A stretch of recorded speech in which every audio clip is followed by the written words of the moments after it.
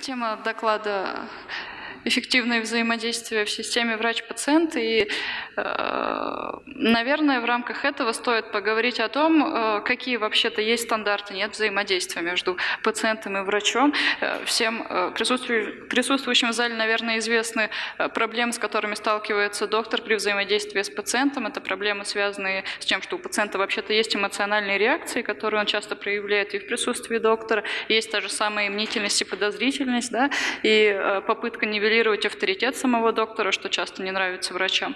И э, сообщение тех самых плохих новостей э, пациенту, как сообщить так, чтобы не испытать затем чувство вины после этого. И, соответственно, э, в онкологической среде что представляется более актуальным, это протокол SPIKES, протокол сообщения плохих новостей онкологическому пациенту, который был разработан э, в, Андер, в Андерсоновском онкологическом центре в 2000 году он был разработан врачами-онкологами. Он был разработан не психологами, соответственно, направлен на то, чтобы очень коротко, структурно и э, в формате алгоритма э, обучить врачей-онкологов общаться с онкологическими пациентами.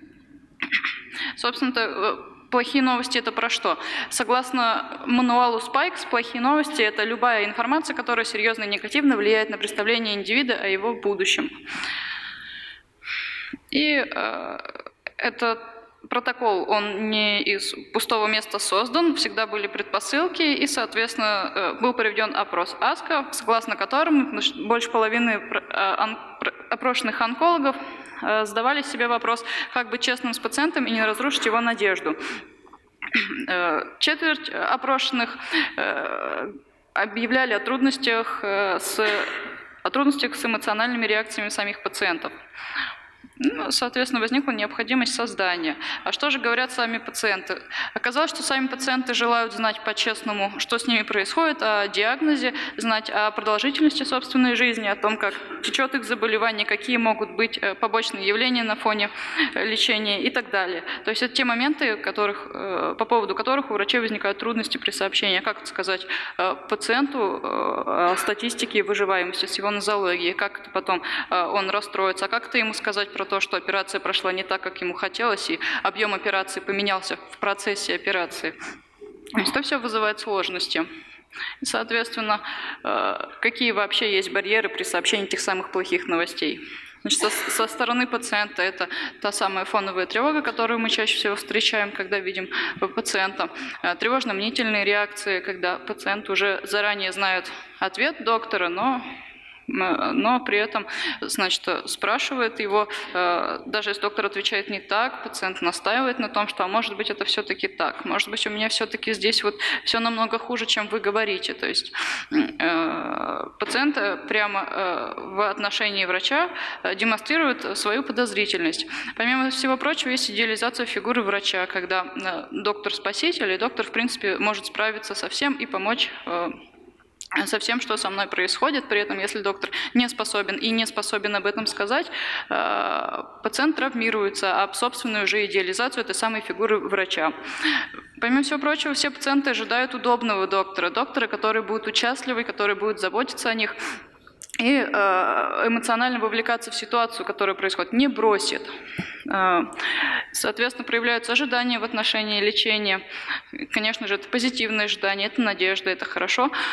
Э, и, всегда мы учитываем индивидуальные особенности и опыт пациента. Пациенты бывают разные, и у всех будет разная реакция на плохие новости. С этой точки зрения протокол Spikes не совсем универсальный, поскольку он учитывает только какого-то стандартизированного пациента. Со стороны доктора также мы встречаем тревогу и собственные непроработанные, так сказать, эмоциональные реакции, часто чувство вины и чувство ответственности за новости поскольку э, именно в момент сообщения плохих новостей э, доктор как-то делает пациенту. Пациент реагирует, пациенту плохо, он тревожится, он может плакать, он может э, предъявлять шоковую реакцию, а доктор думает, что это, собственно, его ответственность. Это он прямо сейчас навредил этому пациенту, он его травмировал. Ну, хотя процесс не такой и работает это не так. И вот э, в руководстве по протоколу Spikes авторы предлагают доктору быть способным, во-первых, реагировать на эмоциональные реакции пациента, все адекватно их воспринимать, не глушить, не успокаивать, а отдавать возможность реакции быть, вовлекать пациента в процесс принятия решений, то есть воспитывать ответственного пациента, условно говоря, участвовать в беседе с родственниками пациента. И, что самое важное, дать надежду пациенту в том случае, когда ситуация безнадежна. То есть проговорив пациенту про то, что и дальнейший путь у нас с вами тоже есть. Я вот прямо здесь, прямо сейчас вас не бросаю. Итак, что это за шесть шагов протокола Spikes? Значит, на, на слайде представлено, очень быстро пробежимся по каждому. Первый шаг – это начало работы или установка, когда доктору предполагается поработать с собой и э, подумать о том, при каких условиях будет проведена беседа, что будет доктор сообщать этому пациенту, сколько понадобится времени, какое это будет помещение, будет оно закрытое или открытое, кого-то нужно пригласить или нет, для того, чтобы объяснить пациенту более полно картину, картину его заболевания или прогрессирования. Или, в общем, э, картину плохой новости.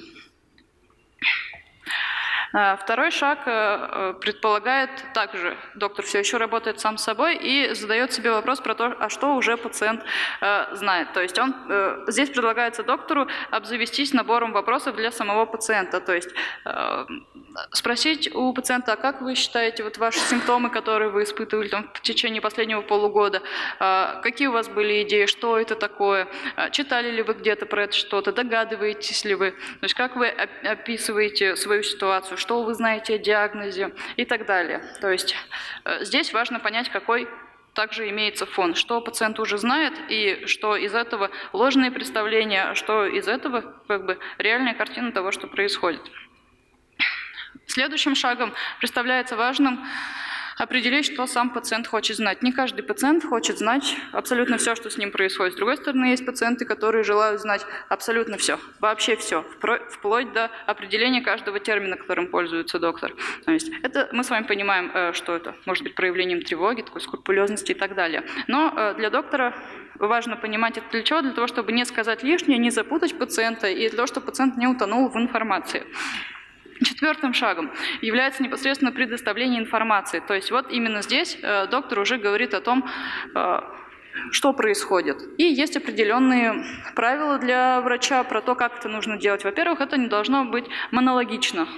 Да? То есть э, необходимо постоянно смотреть, включен ли пациент вообще-то в диалог. Да? А, реагирует ли он на информацию, то есть может у пациента шоковая реакция, дереализация, он уже давно не здесь, да? а доктор рассказывает. Это должен быть простой язык, не нагруженный терминологией. Также необходимо убеждаться в том, что э, пациент понимает, задавать ему уточняющие вопросы про то, что ну, понимаете ли вы, о чем я говорю, да? То есть, э, э, насколько вам кажется э, информация доступна и так далее. Важно не преуменьшать, э, не преуменьшать картину заболеваний, не, преуменьшать там, картину, например, распространенности или рецидивирования процесса, и не обнадеживать пациента про то, что ну, вот у вас довольно большая распространенность, но при этом все будет хорошо, вы будете жить еще сто лет. Да? То есть э, не давать ложную надежду, поскольку это влечет за собой определенную ответственность. Э, также э, здорово присоединяться к пациенту в его реакциях, то есть э, отражать собственные какие-то переживания про этого пациента. Например, говорить про то, что мне жаль, что с вами такое произошло, или мне жаль, что э, мне приходится вам об этом сообщать. Хотел бы я, чтобы было иначе. То есть, ну, это, понятно, это шаблоны, не надо так, да, но можно как-то так. Пятый шаг, собственно, это ответ на переживания пациента. Ему, во-первых, нужно дать время на реакцию, можно попросить пациента описать свои чувства, если он к этому готов, э, насколько это позволяет наш менталитет. Я не знаю, наверное. В общем, наши доктора на просьбу попросить пациента описать свои чувства реагируют скептически, говорят, а можно не надо, можно вот просто дадим ему время на реакцию и позволим ей быть. Да, пожалуйста. Также необходимо уточнить про то, что реакция является нормальной, что любой человек э, в такой ситуации как-то бы отреагировал. Можно так, можно так, а можно как вы. И, собственно, пятый шаг – спланировать следующие шаги. То есть э, это шаг про то, а что мы будем делать дальше э, с тем, э, о том, что мы сегодня узнали. То есть, что необходимо? Вместе с пациентом разработать план дальнейших действий. То есть это обследование или лечение, или какая-то поддерживающая терапия паллиативная. Предупредить пациента о возможных непредвиденных событиях, что не всегда все идет так, как надо, что и здесь тоже э, могут меняться сроки, могут меняться планы, виды, формы лечения, возникать побочные явления. Обсудить э, источники психологической и социальной поддержки. Собственно-то, я подхожу уже к завершению. В протоколе Spikes есть такая хорошая фраза про то, что пациенты, ясно представляющие свое будущее, с меньшей вероятностью чувствуют тревогу и неопределенность. Я, наверное, к этому присоединюсь и скажу, что э, доктор, пожалуй, играет ключевую роль в информировании, но также протокол Spikes предлагает доктору сыграть э, большую роль в отражении эмоциональных реакций пациента в их контейнировании и принятии. Это очень важно, но, на мой взгляд, этот протокол необходимо э, адаптировать к нашей реальности, к нашей социокультурной реальности, для того, чтобы он как-то заработал, и доктора были готовы ему обучаться и его использовать. Спасибо.